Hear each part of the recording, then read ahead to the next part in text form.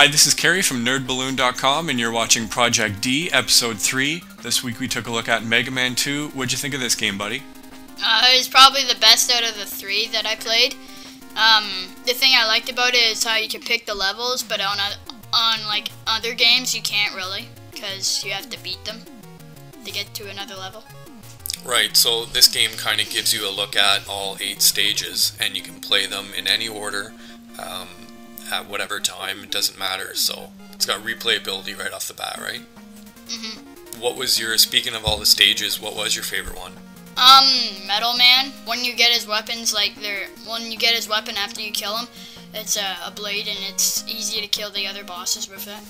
Yeah, because you can shoot it in all directions, right? You can even Yeah. shoot it up on an angle, on a 45 degree angle, and straight up, and straight down. Yeah. What what was the your least favorite stage? Probably. Uh, I would have to say Bubble Man. You didn't like Bubble Man stage? No. Why not? Because when you're jumping onto the things, when you're jumping and you see the big frogs and they shoot out the frogs at you, uh, the frogs keep hop, the little baby frogs keep hopping out uh, at you, and it takes down your health, and you have to shoot the big frogs, and it, and it's uh, it gets annoying after a while. Did you finish any stages? Yeah, I finished Metal Man, and I think maybe Flash Man. I, Okay, so you finished those two. That's not bad for your first time playing.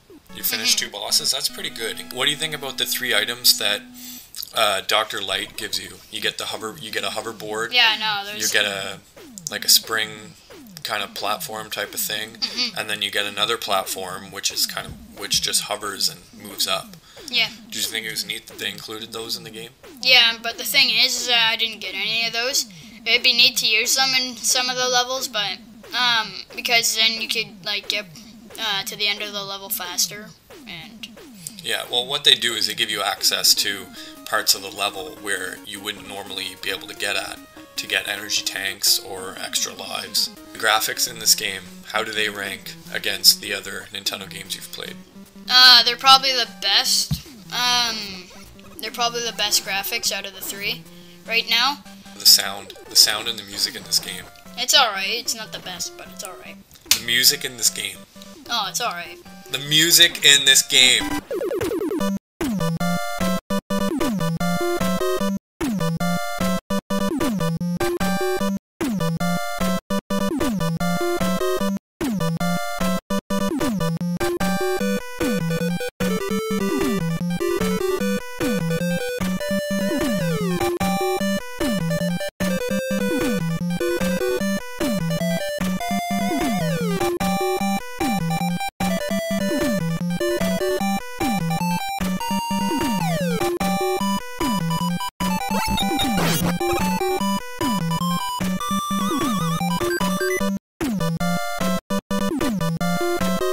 Mega Man 2 has like one of the best soundtracks, whatever you want to call it. That's what you think. No, that's what a lot of people, that's what a lot of people think. Okay. The title screen for Mega Man 2, Oh yeah, that's that's good. like one of That's the good. biggest.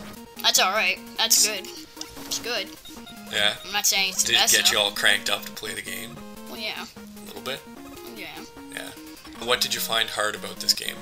Um, when uh you um at the end of the boss, like they like say if you uh have a tiny bit of life left, like maybe four little, you know Little those ticks? yeah little ticks left, and when you fight the boss, their health goes all the way up, and then they have you have they when you shoot them they jump, and it's hard to do that. So So you thought you you thought it was hard when you did reach the the bosses for each level. It was hard to shoot them. yeah, They're moving around pretty quickly, eh? Mm-hmm. Okay, now where does this game rank uh, in regards to the other two in terms of difficulty on a Uh, scale of one to ten?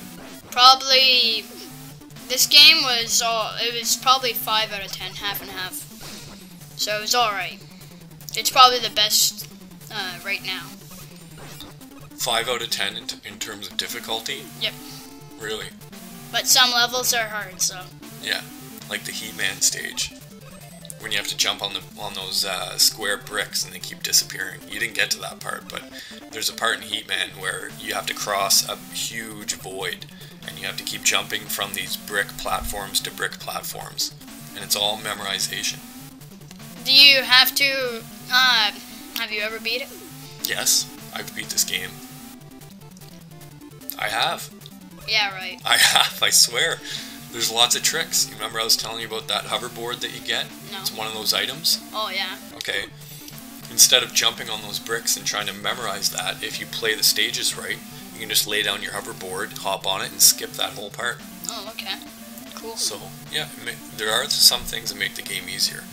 Okay, now is this a game that if I gave to you, would you would you bring this home and play it? Yeah, I would. Yeah. Yeah, I would try and beat it. Okay, and that wraps up episode 3. Dylan, did you have fun playing Mega Man 2? Yeah, it was a pretty good game actually. Now we've got two games left in Project D. We've got Punch Out and Teenage Mutant Ninja Turtles. I'll give you the choice. Which one would you like to hit first? Um, I don't really know, but which one do you think is better? Well, we've had three platform shooters in a row, so I think a good change of pace would maybe to plug Punch Out in. All right. If you're up for it, Right. are you up for it? Yep. All right. Again, thanks for watching and take care. Bye bye.